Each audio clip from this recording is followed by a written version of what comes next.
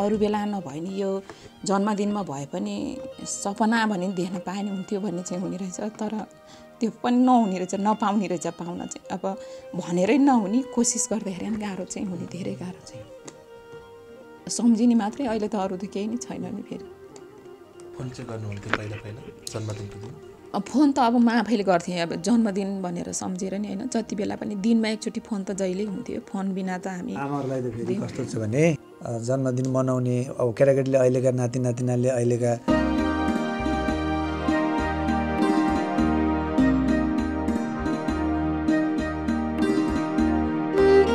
सम्झाइदिएर आएर मनाइदियो मनाइदियो नत्र उहाँहरूको कहिले पनि त्यो संस्कार उहाँहरूको रहेन। यो हाम्रो कल्चर हामीले जन्मदिन मनाउने हाम्रो वास्तविक वैदिक सनातन ऊ अनुसार त हाम्रो अष्ट चिरञ्जीवीको पूजा गर्ने भन्ने चलन छ नि त। यो तपाईँको लागि दुःखद क्षण पनि हो यो वर्ष तपाईँको लागि आदि सुख र आदि आदि दुःख मिसिएको वर्ष पनि हो। उहाँले मसँग त होइन दिदीहरूसँग चाहिँ म कान्छी छोरीको काखमा चाहिँ मैले परान छोड्न पाएँ हुन्थ्यो भनेर भन्नुभएको थियो अरे त्यही नै भयो। त्यस्तै नै भयो। मेरै अँ मेरै काखमै छ। त्यति चाहिँ भयो। अब सुख दुःख भन्दा पनि कोसिस गर्छु बाहिर बसेर चाहिँ अब मलाई धेरै अब रोयो भने म एकदम धेरै बेरसम्म गाह्रो हुन्छ मलाई फेरि होइन कन्ट्रोल हुनलाई। कि दिनहरू त सायद त्यो जुन शब्द नै काफी छ त्यही शब्द त भन्न पाइँदैन अब कहिले पनि। तपाईँका कति हाँसोहरू त्यसपछि अलिक गुमेको हो कि भन्ने महसुस? हामीले तपाईँका पछिल्ला केही दोहोरीहरूबाट देख्न सक्छौँ यसलाई चाहिँ नि हामीले कसरी दुई दुई तरिकाले हेर्नुपर्छ क्या सामान्यतया यो अब संसारको रीत हो। कोही पनि यहाँ सदाको लागि छैन। हामी सबैको बाटो त्यही नै हो। हामीले त्यसरी मल्ल बुझाउनुपर्छ। केही भन्नुहुन्थ्यो तपाईँलाई? आमा त अब बाबु अँ, अब राम्रोसित गर्नुभयो होइन? जीवन यस्तै हो यो अब त बुढी भयो रोग लाग्यो खानेकुराहरू पनि खाएको नि पच्दैन होइन? अब हिजोको जस्तो दिन छैन। अरूले अरूले चाहिँ नि एक एक झापट बच्चालाई हिर्काउनु र आफ्नो आमाले दस झापट हिँड हि- हिर्काउनुमा धेरै अन्तर हुन्छ अरे कि दस झापट हिँड्दा पनि त्यो बच्चालाई चाहिँ दुखेको हुँदैन अरे। होइन विवाह हाम्रो विवाह हाम्रो चाहिँ नि अ, बरु दाईहरूको चाहिँ नि दुई एक एकचोटि भयो। मेरो चाहिँ तिनचोटि बिहा भयो। ए तिनचोटि धुमधामै भएको तिनचोटि बिहा भयो। तिनचोटि कसरी भयो तपाईँले अब प्रसङ्ग उठाइहाल्नुभयो यसलाई अलिकति सेयर गर्दा दर्शकहरूलाई अलिकति रोचकै होला। संसार डुलेर मौला भनी र मौला भनी आफ्नो गाउँ छैदेखिन कहीँ पनि।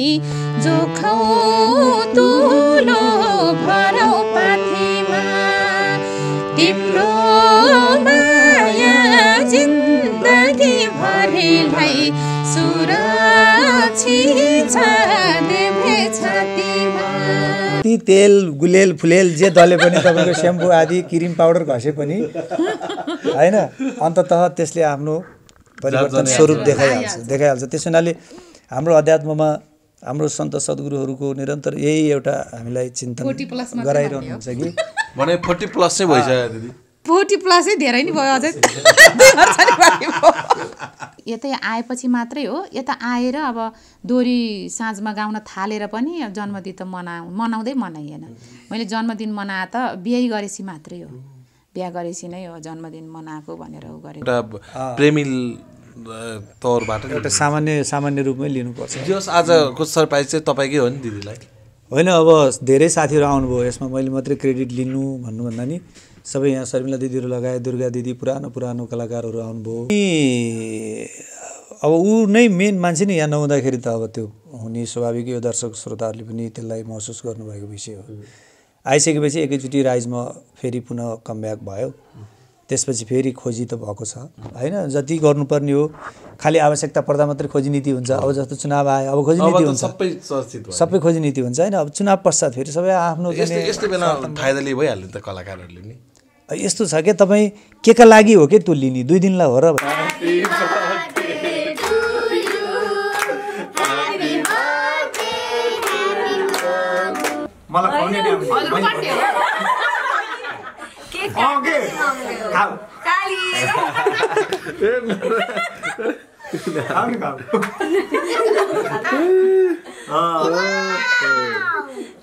उहाँको बर्थडे भएको भइदिने ल खुवाइदेऊ त नि अर्को कुन्नी भने नि ल क्यामेरा अगाडि खुवाइदेऊ न बोलाउने भने नि त यति त होइन क्या अलिक धेरै हो क्या अनि पुग्दैन तिमी थोरै ल्याउँछ अनि। हेलो। भयो भयो जम्मै खस्यो होला फेरि कस्तो नआएको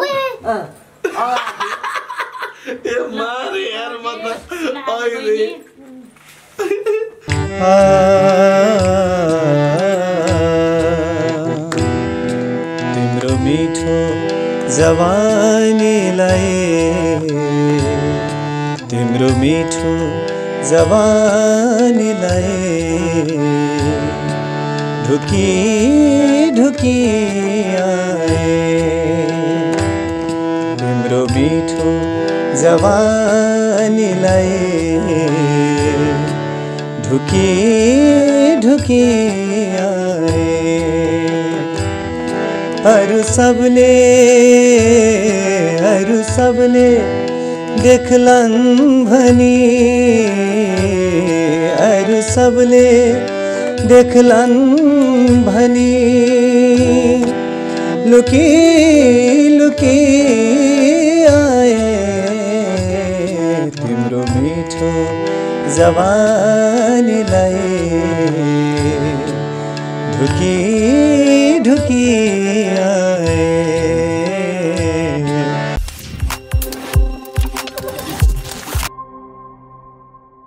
हार्दिक स्वागत छ दिदी बिनाजु दुवैजनालाई अनि दिदीलाई जन्मदिनको लाखौँ लाख शुभकामना। धन्यवाद।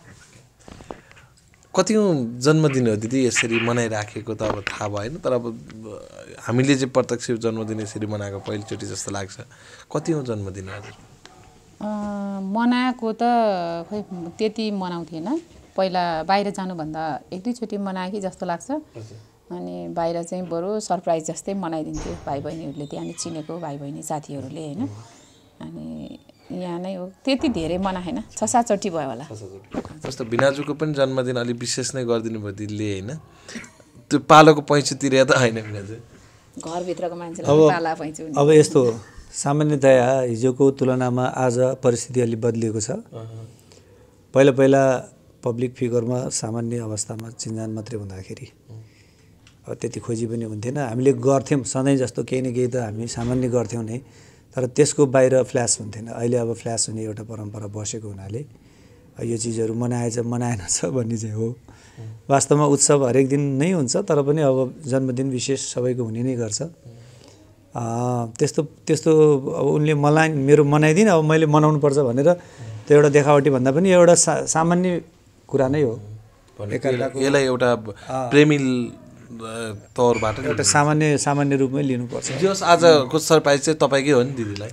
होइन अब धेरै साथीहरू आउनुभयो। यसमा मैले मात्रै क्रेडिट लिनु भन्नुभन्दा नि सबै यहाँ शर्मिला दिदीहरू लगायत दुर्गा दिदी पुरानो पुरानो कलाकारहरू आउनुभयो।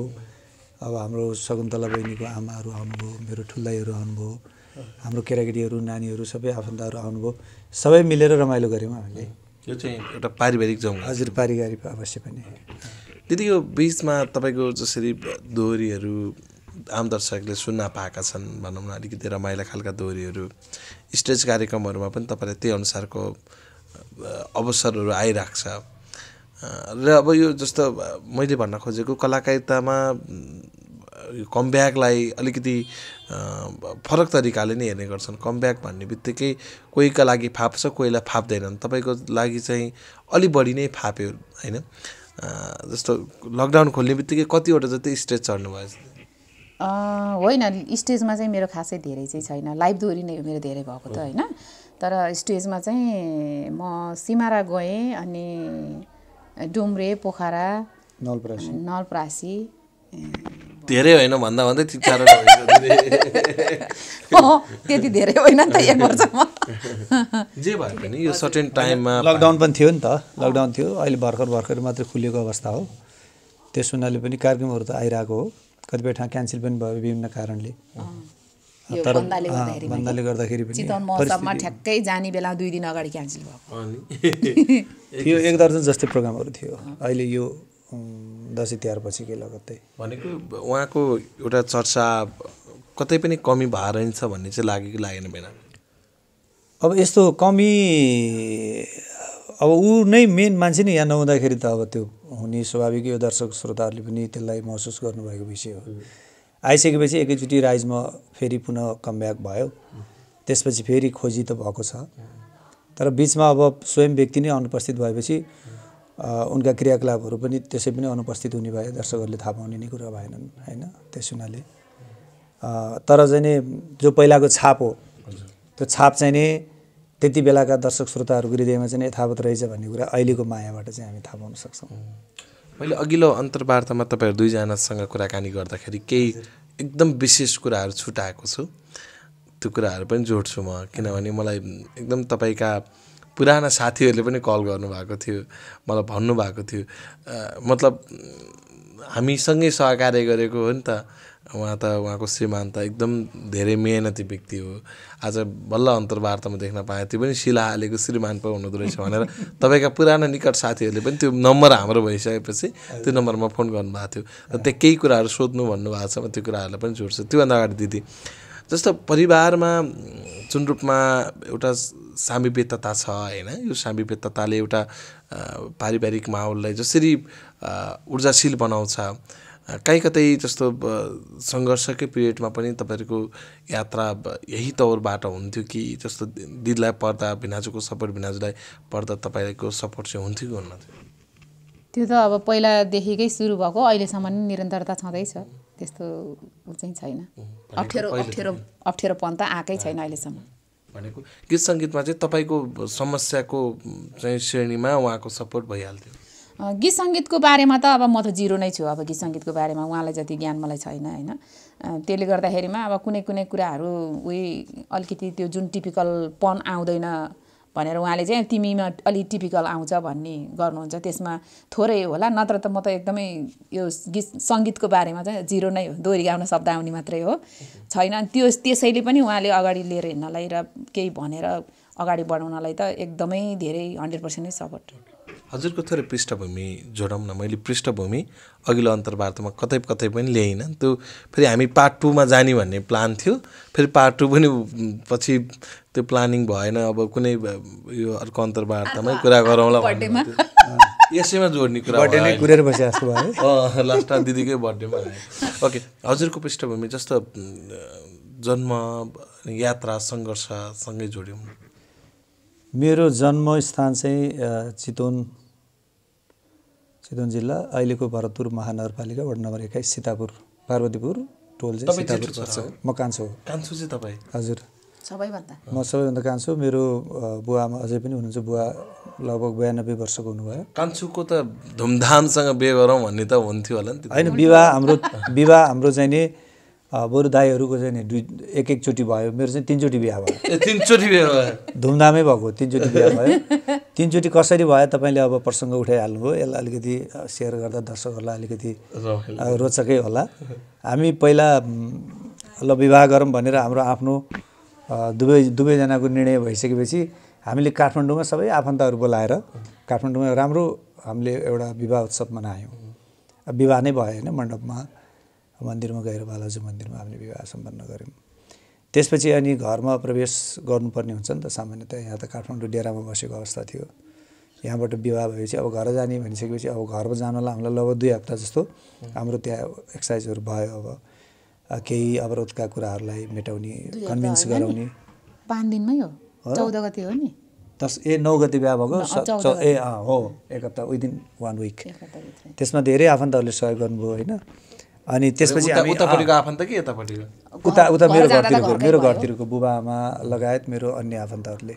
त्यसपछि घरमा अर्को विवाह भयो एक खालको होइन? घरभित्र प्रवेश गर्ने आफन्तहरूलाई भेट गर्ने अनि बुहारी भित्र्याउने त्यसपछि आएर बुहारीहरूको मुख हेर्ने उपहार उपहारहरू चाहिँ नि दिने त्यो सबै भयो। सामान्यतया भोज भतेरै सबै भयो।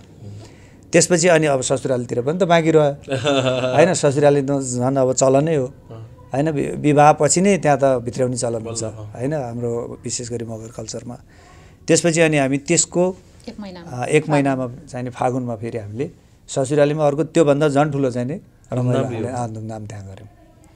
त्यस हुनाले यो हाम्रो चाहिँ नि उत्सव वास्तवमै हाम्रो आफ्नो मात्रै व्यक्तिगत हिसाबले हेर्नु पर्दाखेरि चाहिँ तिन तिन पटक भयो उत्सव। तर अब आफन्तहरू जो जो जहाँ जहाँबाट सहभागी हुनुभयो उहाँहरूलाई त एक एकपटक नै हो। भनेको सबै नयाँ नयाँ हजुर नयाँ नयाँ त्यो काठमाडौँमा मात्रै भयो। काठमाडौँमा काठमाडौँको साथीहरू जम्मा हुनुभयो केही आफन्तहरू आउनुभयो। आफन्तहरू। आफन्तहरू बाहिरबाट पनि आउनुभयो। दोहोरिनु भयो आ, दोहोरिनु भयो धेरै जस्तो दोहोरिनु भएको थियो। आफन्तहरू यो भन्दै गर्दाखेरि जस्तो विवाहको कुरा ठ्याक्कै यहाँ ल्याइहालेँ। विवाह भइसके पश्चात जस्तो अहिले पनि पछि कतिपय ठाउँमा दिदीकोमा कमेन्ट हामीले त्यही अन्तर्वार्ताको तल कमेन्ट हेऱ्यौँ होइन। सम्भवतः दिदीले पनि पढ्नुभयो होला केही। मगरको छोरी बाहुनसँग गएर नाक काटिछ भन्ने खालको त्यस्ता खालको पहिला पहिला पनि तपाईँलाई गालीहरू आउने स्टेजतिर बन्देज गर्ने पनि भयो। त्यस्तो पनि भएको थियो। एउटा म जुन संस्थामा थिएँ रोस गुमस्ट भन्ने होइन यहीँ मगरहरूको संस्था त्यो संस्थामा कोषाध्यक्ष नै थिएँ। कोषाध्यक्षबाट पछि उहाँहरूले मलाई त्यो जे होस् आउटै गर्नलाई तयारी हुनुभएको म आफैले थाहा पाएँ अनि मैले छोडिदिएको थिएँ त्यो चाहिँ संस्थाबाट। अनि कति ठाउँमा प्रोग्रामहरूमा अब कतै चाहिँ अब यो जे होस् अब बाहुनसँग बिहा गऱ्यो भनेको कारणले गर्दाखेरिमा उहाँहरूले प्रोग्राममा बोलाउन तयार भएको पनि नबोलाउनु भएको पनि सुनेको छु। मेरै मु- कानले अब डाइरेक्ट चाहिँ भएन तर अब अलिअलि अर्को मान्छे अर्को व्यक्ति गएपछि त थाहा त हुन्छ नि त। अलिअलि चाहिँ भएको थियो। त्यस्तो तपाईँलाई हजुर हजुर। तपाईँ आफैले चाहिँ त्यसलाई कसरी रियाक्ट गर्नु होइन मैले त केही गर्दिनँ। म म माथि मैले नराम्रो गर्दिनँ। अब नराम्रो जे होस् त्यसलाई नराम्रो पनि सोचिनँ। जो मान्छेको जसको विचार जस्तो छ जस्तो सोच छ उहाँले त्यस्तै जति सक्नुहुन्छ त्यति सोच्छ होइन। त्यसले गर्दाखेरिमा अब उहाँले उहाँलाई हामीले प्रतिक्रिया दिइराख्नुपर्ने गाली गर्न पर्ने माया गर्नुपर्ने केही पनि भन्दिनँ मैले। म आफूले विरोध गर्दिनँ। जुन संस्कारमा म जन्मेँ हुर्केँ त्यो मलाई थाहा छ। मैले सधैँभरि नै मैले पाइरहेको छु पनि नराम्रो पनि छैन। जुन संस्कारबाट अर्को संस्कारमा गएँ खासै धेरै फरक पनि छैन। फेरि त्यो संस्कारबाट दुइटै संस्कार पाउँछु दुइटै संस्कार थाहा छ मलाई होइन?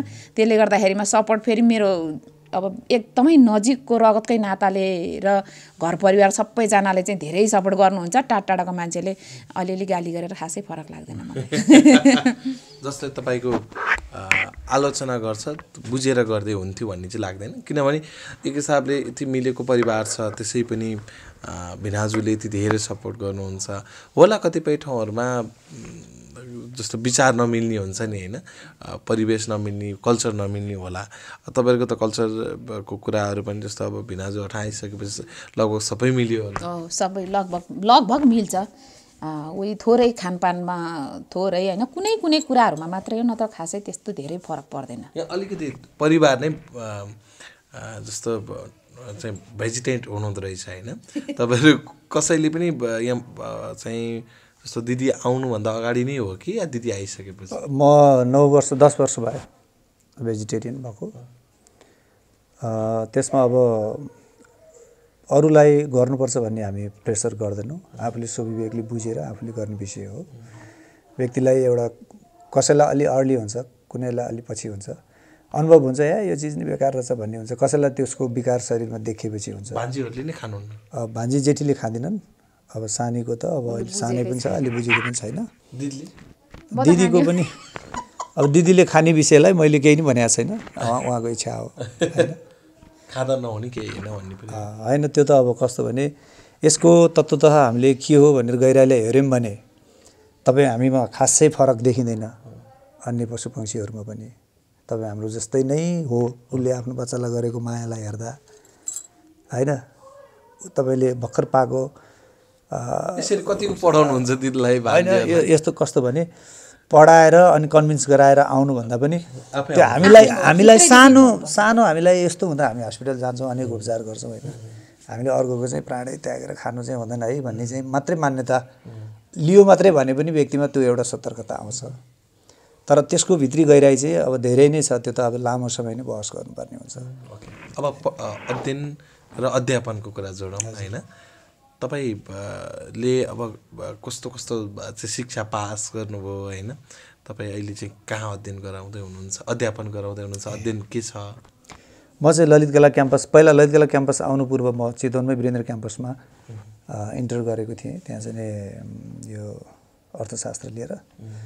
त्यसपछि म सङ्गीतमै लाग्दा अलि राम्रो होला कि यतातिरको पढाइभन्दा भनेर त्यहाँ छोडेर काठमाडौँ आएर मैले ललित कला क्याम्पस जोइन गरेँ।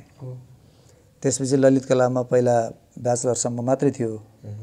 सन्ताउन्न अन्ठाउन्न सालमा मेरो ब्याचलर क्लियर भयो। त्यसपछि मास्टर डिग्री यहाँ थिएन इन्डिया जानुपर्थ्यो कि कि त अब अरू अरू नै थर्ड कन्ट्री जानुपर्ने थियो। सङ्गीतमा मास्टर गर्नको लागि। अब मैले चाहिँ प्रयास गरेँ एक दुईचोटि इन्डियन एमएसीबाट स्कलरसिप ट्राई गर्दाखेरि मेरो आफ्नै गल्तीले एक दुईवटा गल्तीको कारणले गर्दा त्यो प्राप्त हुन सकेन। त्यसपछि मैले कुरेँ केही समय र अनि त्रिभुवन विश्वविद्यालयमा मास्टर डिग्री खुल्यो सङ्गीतमा। खुल्दाखेरिको पहिलो ब्याच हो हामी दुई हजार छैसठी सालमा। त्यो मास्टर डिग्री दुई वर्ष कन्टिन्यू पढियो त्यहाँ पनि अब उत्कृष्ट भएको थिएँ म। त्यसपछि लिङ्कनमा पनि पठाउनु अहिले अहिले ललित कलामै पढाइरहेको छु मैले। बाहिर स्कुलहरू त थुप्रो पढाएँ मैले अब थुप्रो स्कुलहरू छ अहिले त नाम सम्झाउन पनि कतिपय गाह्रो हुन्छ। याद अब बागमतीमा त म बागमती बोर्डिङ स्कुल जहाँ मेरो जेठी छोरी पढ्छिन् त्यो स्कुलमा त यद्यपि म कार्य कार्यरत छु। तर अहिले लकडाउन पछि चाहिँ म त्यहाँ जान छोडिरहेको अवस्था छ। ललितकला क्याम्पस भइहाल्यो बाह्र तेह्र वर्ष भइसक्यो त्यहाँ पढाउन लाग्यो त्यसपछि वाइट फिल्ड स्कुल थियो यहाँ नयाँ बजारमा त्यहाँ पनि मैले दस बाह्र वर्ष पढाएँ। अर्को काठमाडौँ जिबिएस भन्ने थियो। अनि अरू अहिले ठ्याक्कै स्मरणमा छैन अरू पनि छन्। थुप्रै लगभग अँ, लाली गुराँस। लिङ्कनमा अब कार्यक्रममा कहिलेकाहीँ गइयो होला। लामो समय मैले काम गरेको चाहिँ व्हाइट फिल्ड बागमती। काठमाडौँ जेबियर अरू अरू थुप्रै स्कुलहरू छ। त्यसको अलावा आफ्नै इन्स्टिच्युट चलाएँ मैले पाँच वर्ष। अनि ललितकला क्याम्पस भयो। अहिले अब मास्टर डिग्री पछि पढाउन थालेको हो। निरन्तर पढ्दै गर्दाखेरि अहिले पिएचडीको अध्ययन पनि भइरहेको छ। भनेको अब पिएचडीको तयारीमा हुनुहुन्छ। पिएचडीको अहिले सेकेन्ड सेमेस्टर अब कहिले कहिलेतिर डाक्टर थप्छौँ हामी यो हाम्रो पाँच वर्षको प्रोजेक्ट हो। सामान्यतया पाँच वर्षको पाँच वर्षभित्र हामीले थेसिस कम्प्लिट गर्नुपर्छ। हजुर कति वर्ष कोर्स दुई वर्ष? अब यो सेकेन्ड सेमेस्टर पढ्दैछु म अहिले। तिनवटा सेमेस्टर चाहिँ अध्ययन नै गर्नुपर्छ। बाँकी अन्य चाहिँ अनि प्र्याक्टिकल भिजिटहरू गर्ने रिसर्चहरू गर्ने। केही नभए दुई तिन वर्ष अझै लाग्छ। लाग्छ। अब श्रीमानको अगाडि डाक्टर त थपिनु भयो होइन। अब यो जस्तो उहाँले पाउने उपाधिको कुरा रहिहाल्यो। तपाईँको अगाडि वरिष्ठ कहिले थपिएला?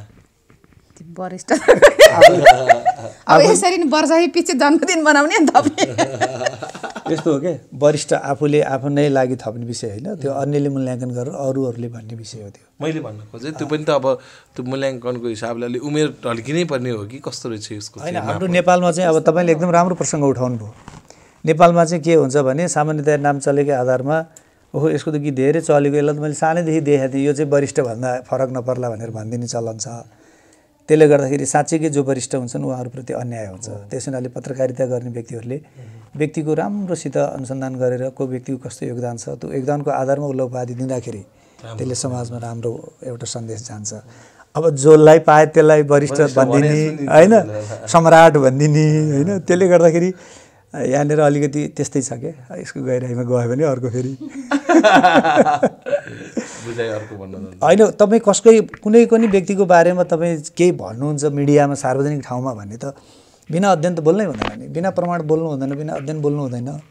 त्यो बोल्दाखेरि भोलि त्यो होइन रहन्छ भने आफै पङ्गु भइन्छ। जस्तो पाइसकेको उपाधिलाई चाहिँ हामीले स्वीकार्न त पाएँ नि जस्तो उहाँले पाइसकेको हुन्छ नि रेडियो नेपालले दिएको नेपालमा एउटा विडम्बना के छ भने आधिकारिक संस्थाहरू यस्तो उपाधि दिने आधिकारिक संस्थाहरू गभर्मेन्टको थ्रुबाट त्यस्तो एउटा मोनिटरिङ गर्ने संस्था छैन। भएकोहरू त्यति एक्टिभ पनि छैनन् होइन?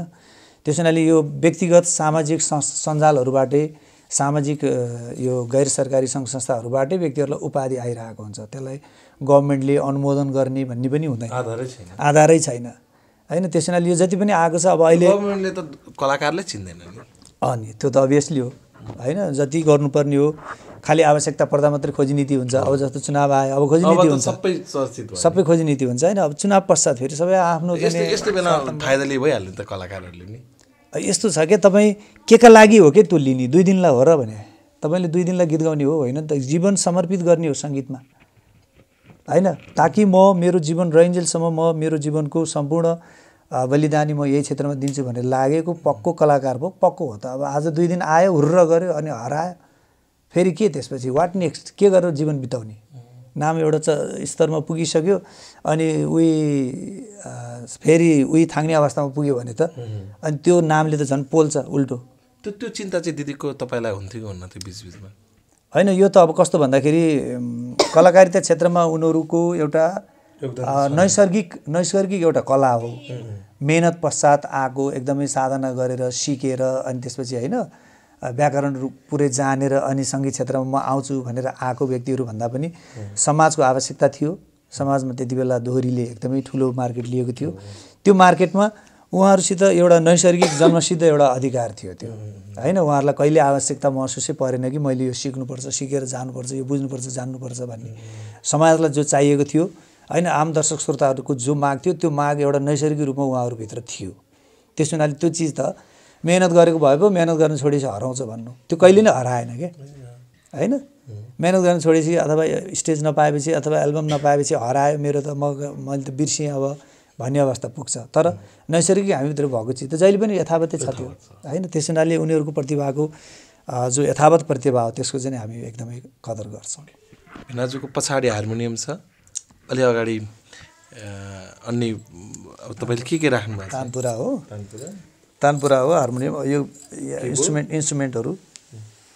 हार्मोनियम बजाएरै गीत सुनौँ न आज है। दिदीले भिनाजुको हार्मोनियमको तालमा गाउन सक्नुहुन्छ? तालमा त गाउनु सकिहाल्छ बजाउन मात्रै सक्दिनँ। बजाउन चाहिँ ताली सक्छु। ताली चाहिँ बजाउन सक्छु। अरू बाजा त खासै ज्ञानै छैन मलाई बाजा अहँ। ओके अब भिनाजुले बजाएर दिदीले गाउने कुनै गीत त्यस्तो छ? अब मैले बजाइदिएर उसले गाउने गीत त के जति जुनसुकै गीत गाए पनि बजाइदिन्छु नि। होइन? ल गाउनु नि कुन कुन गीत गाउनु छ? तर दुवैजनाले गाउँदा मजा आउने ल म थपिदिन्छु स्वर त्यसमा। अलिकति बेला सर्नु त।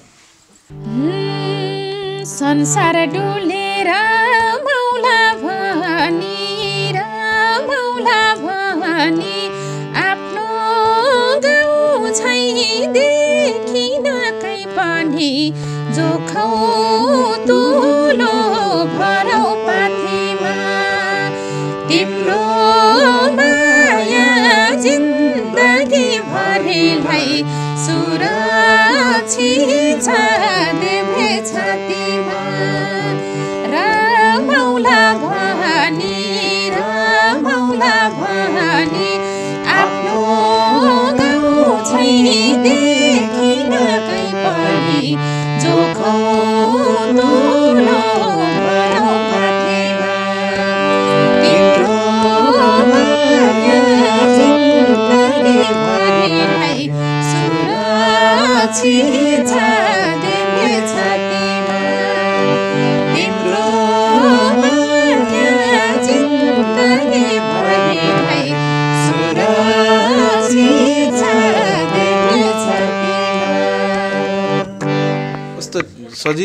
सकिने त। हजुर। तपाईँको आउँदै गरेको एल्बम? हजुर आउँदै गरेको एल्बम। गाउने चाहिँ राजु र मैले गाउँदैछु। यो लय हजुर राजु परियार मैले। लय चाहिँ मेरो गुरु नै भन्छु मैले। मलाई यो धेरै दोहोरीहरूमा लिएर हिँड्नुहुन्थ्यो। आदरणीय अग्रज गुरु मेरो आदरणीय दाजु अमर बिराई गुरुङले बनाइदिनु भएको हो। लय। लय। शब्द चाहिँ? शब्द त म आफूले लेखेको छु राजुलाई नि लेख्न भनेको छु दाइले नि लेखिदिन्छु भन्नुभएको छ तिनजनाको अझै भइसकेको छैन? पर्सि हो। ए। पर्सि। वाह। यो एउटा नयाँ सिर्जना पनि आउनु भयो होइन? म्युजिक ट्र्याक बनिसकेको छ। सबै अब बिबिजीले एरेन्ज गर्नुभएको छ। भनेपछि तपाईँ पनि उत्साहित हुनुहुन्छ यो गीतप्रति होइन सपोर्ट त अब गर्न लागेको प्रोजेक्टमा आफ्नो सपोर्ट त भइहाल्छ नि राम्रो होस् भन्ने। दिदी धेरै पछिको एउटा आफ्नो अफिसियल गीतको रूपमा यो गीत ल्याउँदै हुनुहुन्छ? हजुर हजुर। कति कति ल, भएछ? पाँच वर्ष छ वर्षै भयो। हजुर छ वर्षभन्दा अगाडि चाहिँ बद्री पङ्गेनेर मैले गाएको थिएँ लाली जोबन भन्ने एकनारायण भण्डारीको लय शब्द थियो। अँ, त्यो त्यसले चाहिँ अब भनौँ अब खासै साथ अब केबाट मिलेन मिलेन। नराम्रो त थिएन राम्रै थियो होइन। अब यसपालि कस्तो हुन्छ फेरि हेरौँ दर्शकको माया पाउँछु होला जस्तो यति बेला चाहिँ आशा छ। अब भिनाजुले नै गाउनु पऱ्यो नि दिदीले त गाइहाल्नु भयो आफ्नो गीत होइन? भिनाजुको पनि सुनौ मैले गाउने गीत अहिले गाउने? अहिले गाउनु। गीत आउँदैन। गाउनु गाउनु। म मेरो आफ्नै गजल। यो चाहिँ हाम्रो थकित यात्रीजी हुनुहुन्छ लमजुङको एकजना अत्यन्तै है त्यो चाहिँ। अँ, अँ, अत्यन्तै एकदमै मिल्ने आदरणीय मित्र थकित यात्रीजी थकितजीको शब्द मलाई उहाँले लगभग धेरै अगाडिको प्रोजेक्ट हो यो एकछिन है त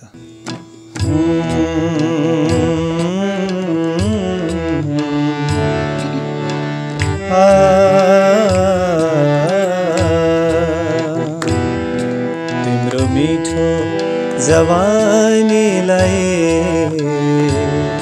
तिम्रो मिठो जवानीलाई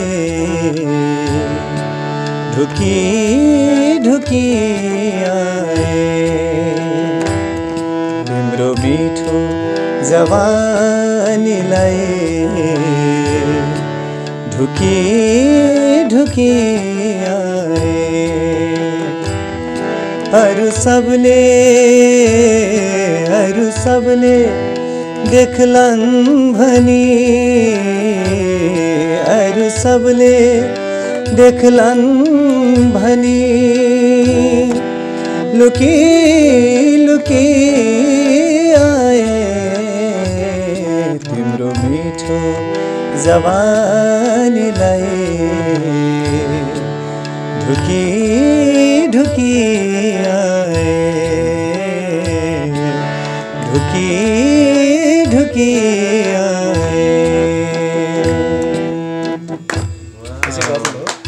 यो असाध्यै मिठो गजल।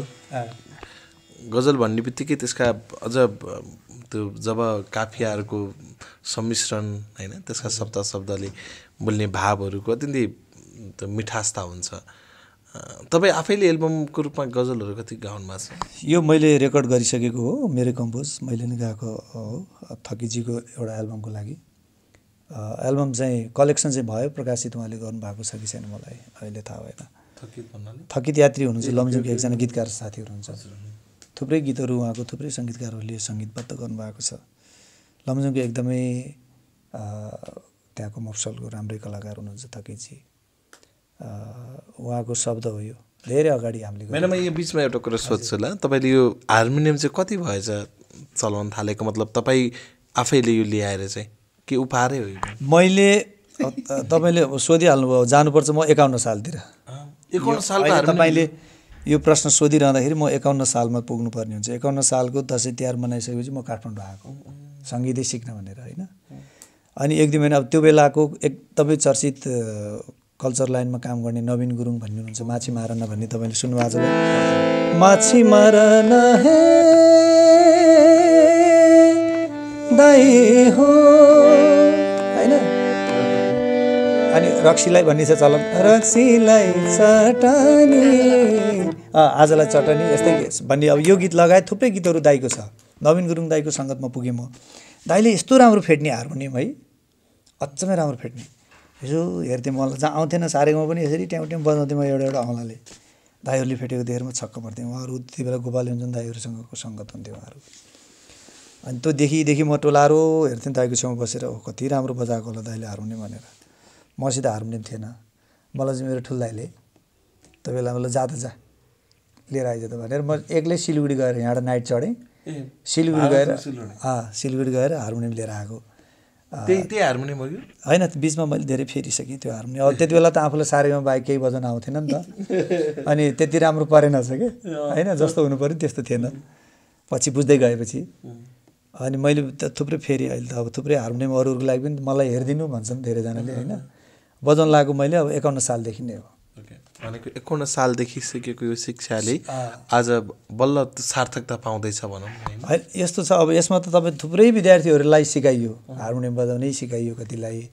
थुप्रै स्कुलहरूमा त अब त्यत्रो दर्जनौ स्कुलहरूमा सबै बच्चाहरूलाई यही सिकाउने हो। सबैले सिकाउनु भयो दिदीलाई किन सिकाउनु भएन कि? यो कस्तो कस्तो हुन्छ भने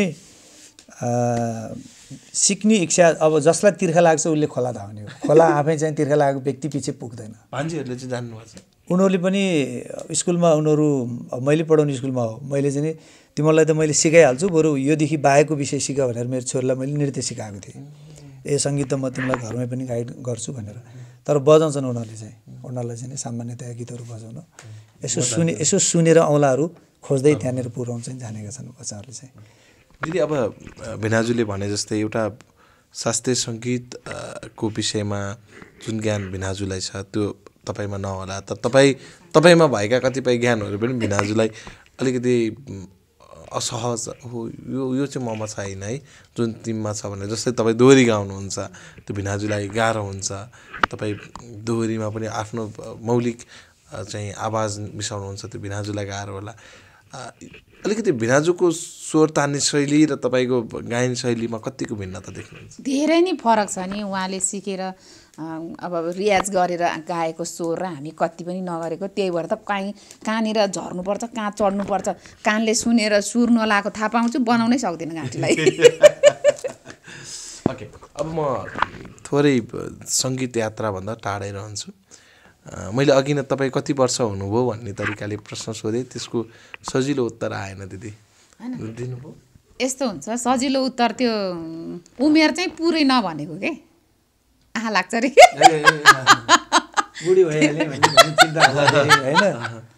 तर रोकेर रोकिँदैन हेर्नुहोस्। सबै कुरो हामीले छेक्छु भनेर ए दाँत त नझर भनेर दाँत नझर्ने होइन।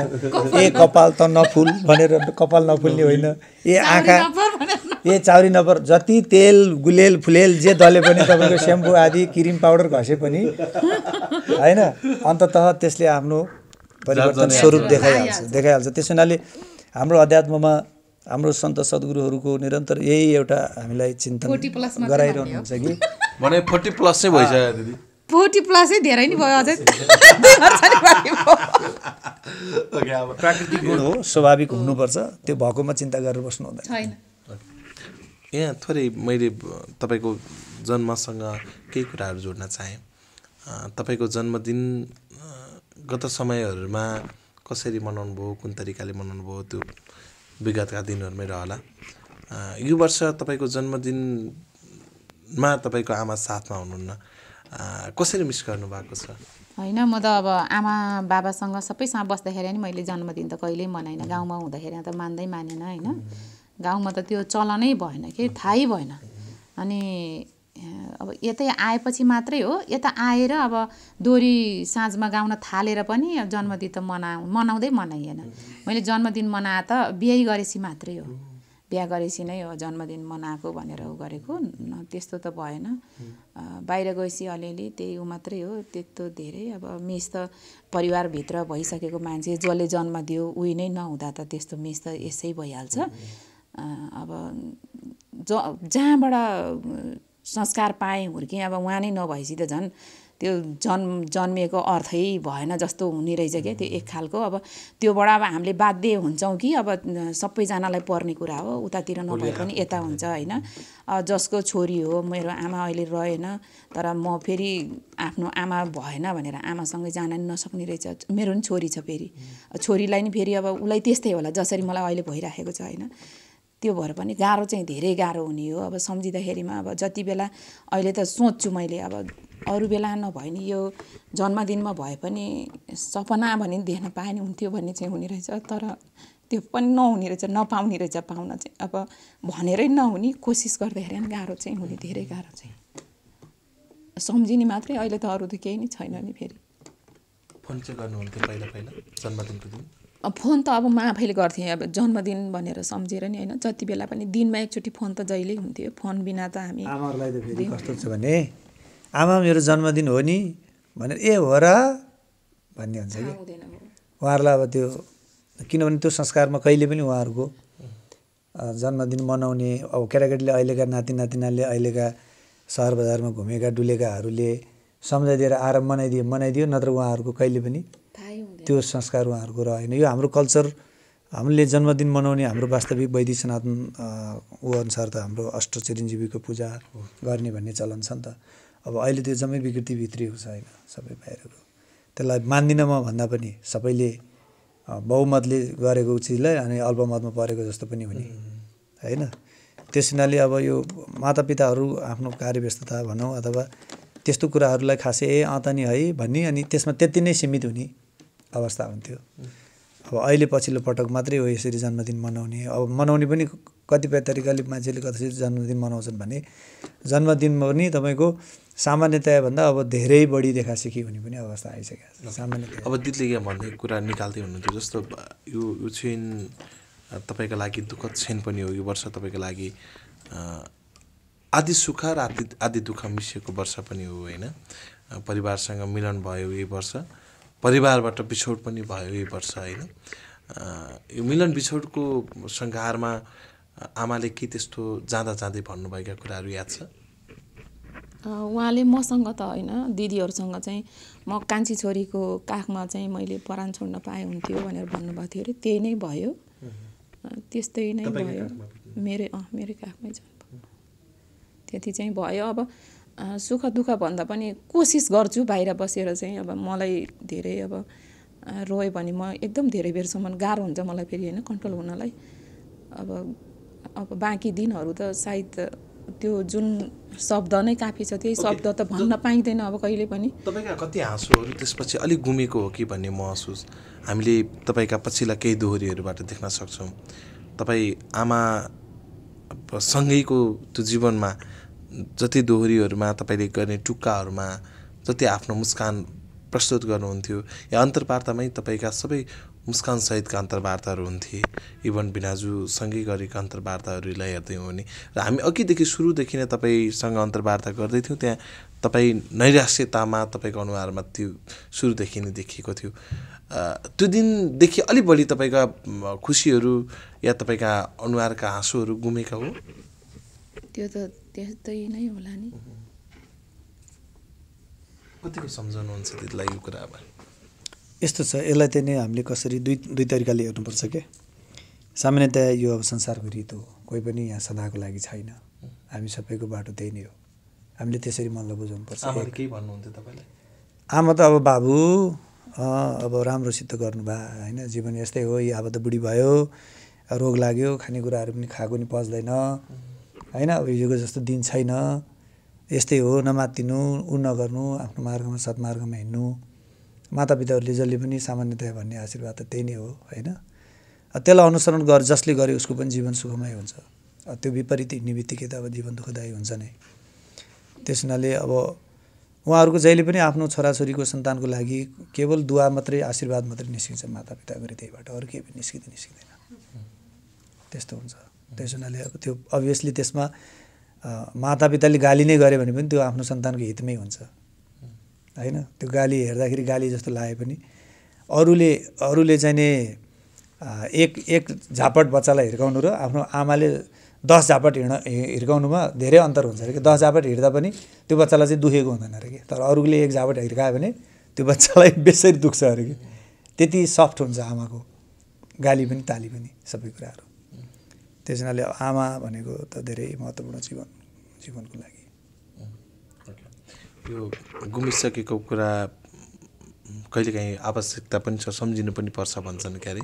मात्र माता पिता सम्झिने समय भनेको जन्मदिन चाडपर्व र कुनै त्यस्तो समय मात्र होइन अरू बेला पनि हो। तर काहीँ प्रसङ्गमा मातापिताको सम्झना चाहिँ हुनुपर्छ भन्ने हो बिहान माता पिताको त शास्त्रमा धेरै ठुलो वर्णन गरेको छ कि जस्तो हाम्रो सत्शास्त्रहरू जो छन्। के भन्छ भने? माता पिता गुरु प्रभुकै बानी। माता पिता गुरु र प्रभु यानि कि ईश्वर होइन? माता पिता गुरु प्रभुकै बानी। बिनही विचार करिय शुभ मानी।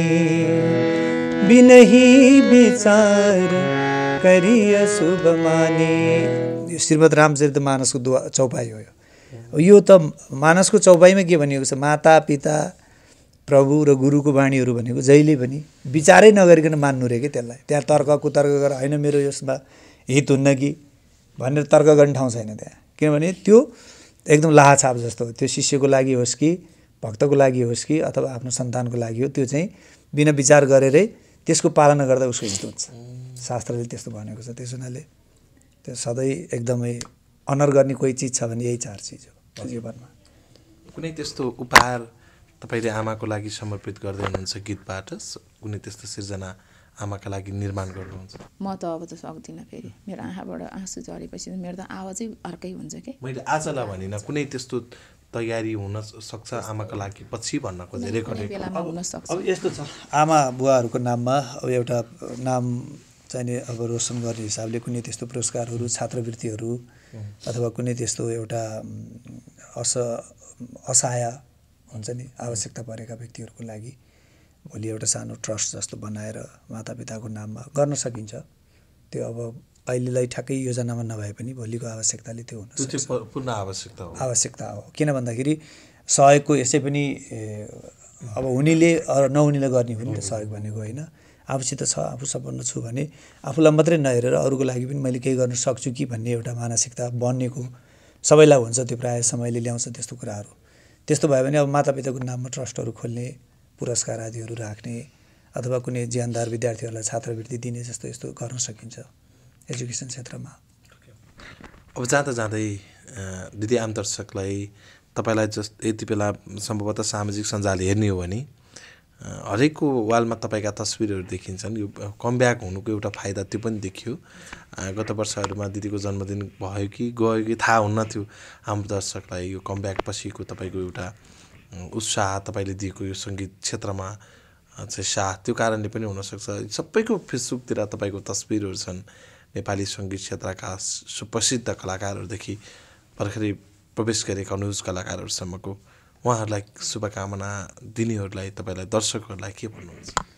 सबैभन्दा पहिला त आज अब जुन जन्मदिने आमा बाउ साथमा नभए पनि उहाँहरूको आशीर्वादले यहाँसम्म आइपुगेको छु होइन। अब माया गरिराख्नु भएको छ दर्शकहरूले यति धेरै माया दिनुभयो कि अब उहाँहरूले दिएको मायाले नै अब जुन हाँसो फेरि पनि फर्केर आउँछ जस्तो लाग्छ मलाई। अब जुन कोसिस गरिराखेको छु जुन खुसी ल्याउनको लागि उहाँहरूले दिनुभएको माया कहिल्यै भुल्दिनँ र त्यो माया जसरी अहिले दिनुभएको छ हिजोको दिनदेखिको आजसम्म यो माया चाहिँ निरन्तरता पछिसम्म नै बाँचुन्जेलसम्म दिइराख्नुहुन्छ भन्ने आशा पनि छ र उहाँहरूको लागि मैले जुन दिनपर्ने हो म मैले गर्नपर्ने म एउटा गाउने गायिकाले गर्नपर्ने कर्तव्य जुन गीत गाएर उहाँहरू खुसी हुन्छ त्यस्तो खालको गीत पनि गाएर अझै खुसी पार्ने कोसिस गर्नेछु। अब काहीँ केही त्रुटिहरू हुनसक्छ होइन? त्यसमा चाहिँ फेरि जतिसुकै सिनियर भए पनि जतिसुकै वर्ष यो क्षेत्रमा हिँडे पनि कुनै बेलामा त्यस्तै नराम्रो पनि हुनसक्छ बाटो बिराउन सक्छ होइन? त्यसको लागि उहाँहरूले कमेन्टहरू पनि। सचेत पनि गराउन सक्नुहुनेछ र म भन्छु पनि सचेत पनि गराइदिनु होला। कुनै बेलामा हुनसक्छ साथीको लैलैमा अगाडि बढ्ने क्रममा त्यस्तै हुनसक्छ होइन? र कोसिस गरेर अब जानेको बुझेकोसम्म अगाडि त हामीले नराम्रो गर्छु भन्ने त लाग्दैन पनि होइन? न नपरोस् पनि नराम्रो गर्नलाई। कोही बेलामा साथीको कारणले गर्दाखेरिमा साथ दिँदाखेरिमा त्यस्तो पर्न सक्छ। त्यसको लागि चाहिँ सचेत गराउनु होला यहाँहरूको जुन दिदी बहिनी अब जे नाता लाएर पनि अग्रज या अनुजले जसले पनि दिन सक्छ त्यो त आफूले बुझेको कुराहरू अरूलाई सुझाव सल्लाह दिनलाई नराम्रो हुँदैन। उहाँहरूको माया सधैँभरि पाइरहौँ। जसरी आज मलाई जन्मदिनको लागि धेरै धेरैभन्दा धेरै दर्शक श्रोता अब जुनियर भाइ बहिनी सिनियर दाइ दिदीहरू सम्पूर्णले माया गर्नुभएको छ। यो माया सधैँभरि पाइरहौँ। एकदमै हृदयदेखिकै धन्यवाद दिन चाहन्छु। मेगा स्टार र मेगा स्टार र लाली गुराँसलाई पनि एकदम धेरै धन्यवाद।